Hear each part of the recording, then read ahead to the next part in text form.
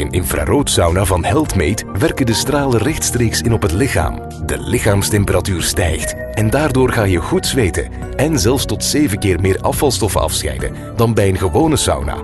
Door de doorwarming van het lichaam versnelt de bloedcirculatie en vindt het zuurstofrijk bloed vlot de weg naar alle spieren en gewrichten. Stilaan neemt de pijn af. Verwar Healthmate infraroodcabines niet met warmte-infraroodcabines. Omwille van hun hoog percentage aan korte golf infrarood zijn deze warmte-infraroodcabines vergelijkbaar met de klassieke sauna en zorgen uitsluitend voor huidoppervlakteopwarming en zijn met andere woorden niet aangewezen bij chronische klachten.